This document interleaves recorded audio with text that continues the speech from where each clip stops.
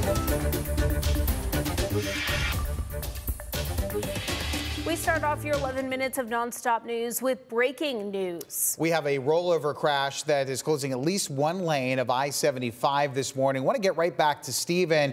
I know you've been on this for a few minutes here now, so Stephen, this is going to slow some people down this morning. Yeah, absolutely. Just happening a short while ago. So good Tuesday morning to you. Starting things off, looking at this crash on I-75. So this is 75 heading northbound right near the Miami Street exit. This is the Wales Road uh, ODOT camera here. So you can see one lane of traffic traffic is open this morning. Now, we were looking at a full closure due to that rollover crash involving one vehicle. So you can see all of that action here, uh, those flares uh, lighting up the roadways. Uh, you can see traffic uh, there on that outside lane. So this is what you're running into this morning, causing some slight delays. BG to downtown, you can see things are reduced this morning, seeing the yellow indication. So some slower moving traffic as you start your Tuesday because of that crash. Unknown injuries at this time, but we will continue to stay on top of that.